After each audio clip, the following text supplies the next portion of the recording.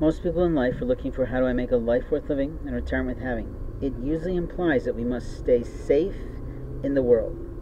Long ago, I used to teach self protection seminars. I still had a bunch of carbonless forms that I was planning to use in my new direction after loss.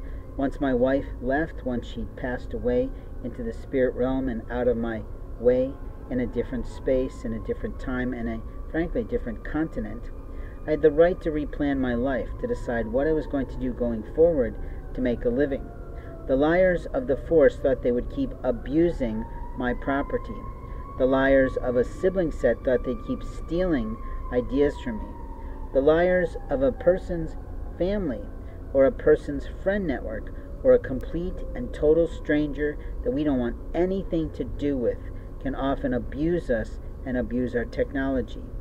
Technology abusers are usually a certain type of person, and that person has decided that their rights and their decisions and their wants and their needs, like a five year old child, are more important than the actual citizen's rights.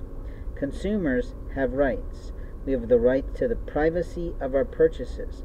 I purchased a brand new cord across the street at Burlington Coat Factory. Cost me practically $8. It was a valuable cord to me, but shortly thereafter it got stolen. My guess is that employee told someone, because I didn't tell a person at all.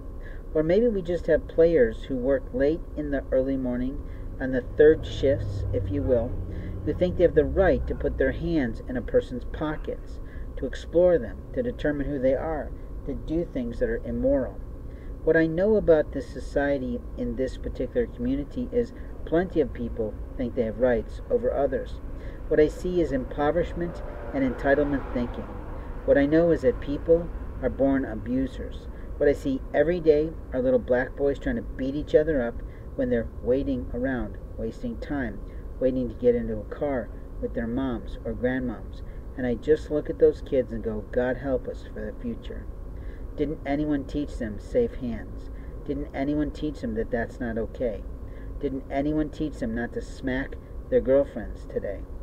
I saw a rather lean young man being led by his girlfriend, who's just a little bit more to love, and probably his steady, trying to smack her in the bottom. So that led her, a woman of fortune, to think that she should hit him back. And frankly, I would do the same. You don't have the right to play the hitting game. You don't have the right to abuse people. You don't have the right to financially harm people. You don't have the right to steal from people. You don't have the right to do things that you feel like would be funny to that person.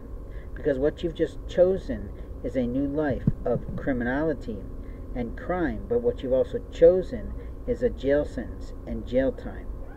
You see, America has rules. America has social mores. America has American constitutional laws that protect us from abuses.